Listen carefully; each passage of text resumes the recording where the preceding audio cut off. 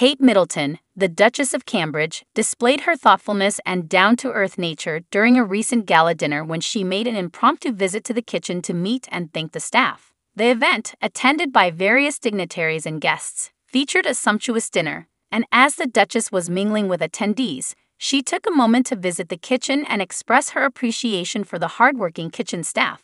In a heartwarming video that has since gone viral, Kate can be seen chatting with chefs and kitchen personnel. She asked about their work and how they were managing the evening's preparation. Her genuine interest in their efforts was evident, and she took the time to personally thank each member of the kitchen team. Kate Middleton's spontaneous visit to the kitchen not only demonstrated her appreciation for the dedication of the staff, but also showcased her approachable and compassionate demeanor. Her act of kindness resonated with many, highlighting her ability to connect with people from all walks of life. The Duchess has long been involved in various charitable and community initiatives, and her commitment to promoting mental health awareness and supporting children and families in need has been widely recognized. This recent incident further solidifies her reputation as a compassionate and caring member of the royal family. Her ability to make a genuine connection with individuals, even in formal settings, has endeared her to many and reaffirmed her role as a beloved public figure. In conclusion,